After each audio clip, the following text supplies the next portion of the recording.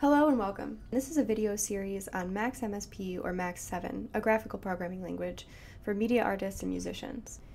If you're following along in the series, you've seen an overview of Max and a brief introduction to building your first patch, connecting objects and putting different types of objects and data types into your patch.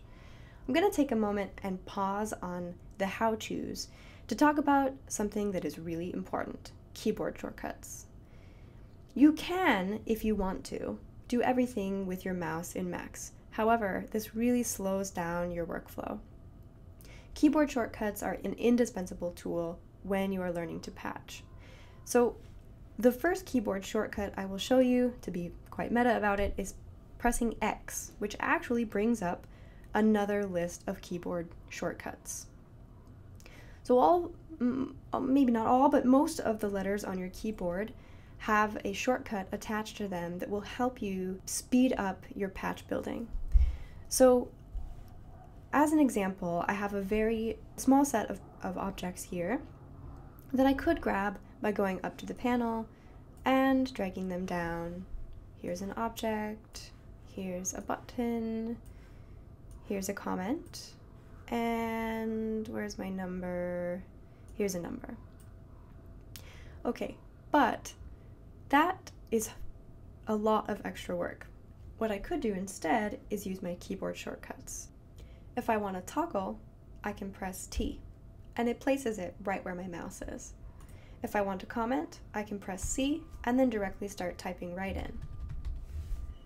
If I want a number box, I press I, that's for integer. If I want an object, I press N, that's for new, and I can type right into it. And hit enter. And a button is B. Now I have all those objects quickly made into my patch. I can hook them all up. Two other very quick keyboard shortcuts are unlocking and locking the patch. This is something that you will do constantly as you are building your patch, so you don't want to have to come down here and keep clicking. There's three ways you can do it, actually, not two. You can right click with your mouse and click on and off the edit checkbox. That's not a keyboard shortcut, it's also with your mouse, but it's a little bit quicker.